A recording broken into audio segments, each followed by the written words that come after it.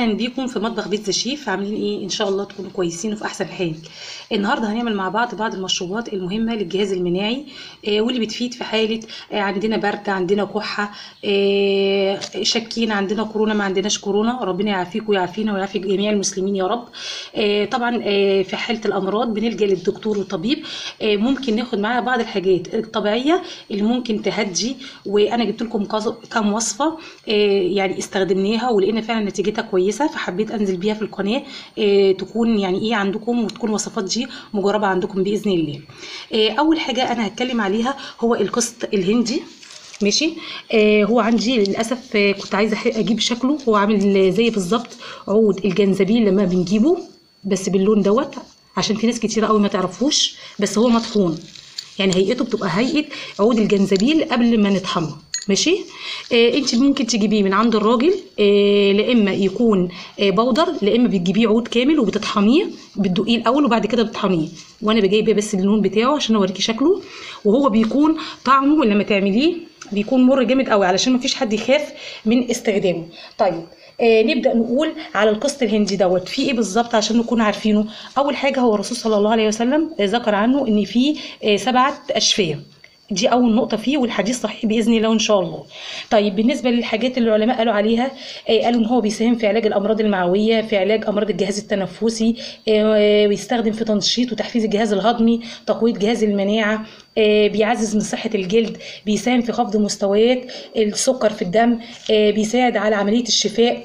طيب إيه لغاية كده هو كويس جامد جدا واستخداماته كويسة. طيب هل ليه أضرار؟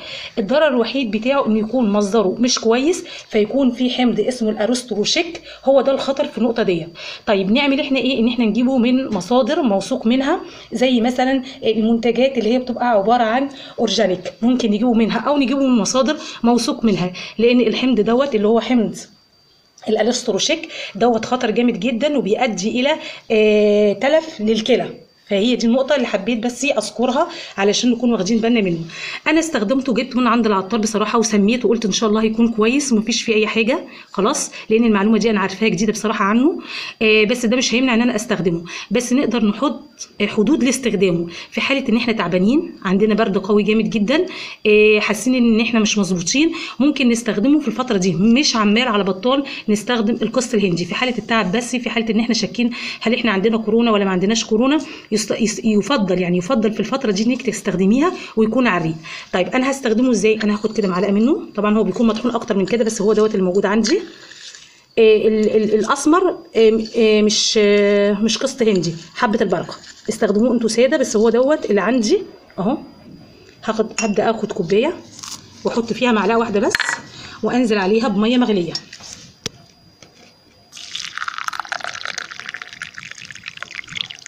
واغطيه في حدود خمس دقايق عشر دقايق وبعد كده هو أبدأ أستخدمه. يبقى دوت أول مشروب عندي. طيب طعم طعمه مر عشان ما حدش يخاف منه. طعمه مر جدا جدا جدا. ممكن انت تحليه بالعسل النحل. خلاص ده أول مشروب وناس كتيرة قوي جربته آه، في حالة كورونا واستريحت عليه جامد جدا. خلاص نيجي بقى للمشروب التاني عندي. وده أنا بستخدمه باستمرار لأن مفيش منه أي مشاكل ومفيش منه أي حاجة خالص. أبدأ أقول لك على مكوناته. وكنت قاريه مكوناته بصراحة من على النت ولقيتها جميلة وكل اللي قلت لهم عليه آه قالوا إن هم استريحوا عليه جامد جدا. ده عبارة عن إيه؟ عبارة عن خمس مكونات. ده هنستخدمها للكوبايه الواحده عبارة عن ربع معلقة آه، من اليانسون. الطريقة كانت مكتوبة ينسون نجمي. أنا عندي هنا بستخدم اليانسون المصري بتاعنا العادي ما استخدمتش النجمي وما أعرفش شكل النجمي وما اشتريتوش لغاية دلوقتي بصراحة. ربع معلقة جنزبيل ربع معلقة كركم ربع معلقه حبة البركه ثلاثة ده بالنسبة لكمية الكوباية يعني ثلاث حبات قرنفل. يعني ده المقدار ده هعمله الكوباية. أبدأ أحطه كده أهوت. ربع معلقة من كل حاجة. أدي اليانسون اللي هو المفروض يكون نجمي بس هو مش نجمي. ودوت حبة البركه مع القرنفل. والكميات دي والمقادير دي كلها هتكون عندكم في في الصندوق. فما تبقوش تقلقوا. ودوت الجنزبيل أهو. ربع معلقة صغيرة. ودوت الكركم. طيب أنا ما عنديش كورونا ولا حاجة الحمد لله. عندي حبة برد عادي عندي كحة. أنا بقول لكم أنا بستخدمه في حاله الكحه بصراحة بيهدي جامد جدا. واللي هيجربه هيعرف كده كويس جامد جدا. وأحط عليه مية مغلية. تحبي تحليه بالعسل النحلي يفضل طبعا. إيه مفيش. يبقى السكر الأبيض يبقى بحاجة كمية خفيفة وأغطيه برده لمدة خمس دقائق وأستخدمه بعد كده. خلاص؟ طيب نيجي بقى للصنف الثالث وهو عبارة عن إيه؟ مشروب. ال- الليمون أهو. خدت كام معلقتين ليمون فريش اهمت مع ربع معلقة. دي بقى دي تتناسب مع الكمية اللي أنا هحطها في الكوبايه عبارة عن ربع معلقة نص معلقة صغيرة جنزبيل مع من معلقة لمعلقتين عسل نحل.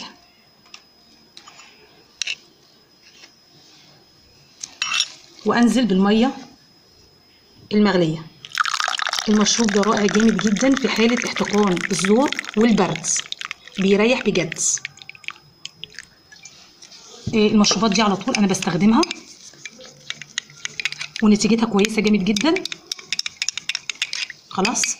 وأدي مشروبنا التالت. نبدأ بقى للصنف الرابع عندي. عبارة عن إيه؟ عبارة عن عسل نحل صافي.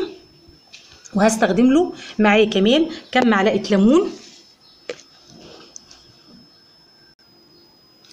أنا عندي كده كام معلقة ليمون صافي مفيش من غير مية ولا أي حاجة عصير ليمون بس وأدي معلقة جنزبيل ومن غير مية نهائيا. يبقى عسل نحل جنزبيل معلقة عصير ليمون في حدود ليمونتين أو ثلاثة مفيش أي مشاكل خالص أهو.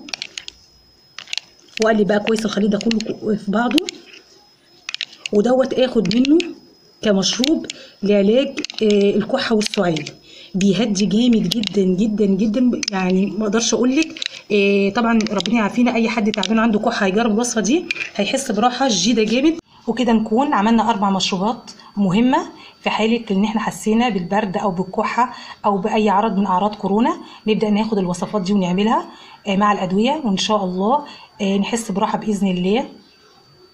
دمتم في رعاية الله مع تحيات مطبخ بيتزا شيف لو عجبك الفيديو ما تنساش تتفرج على الفيديو ده وكمان الفيديو ده وما تنساش تعمل سبسكرايب للقناة وتفعل خدمة الجرس علشان يوصلك كل جديدنا.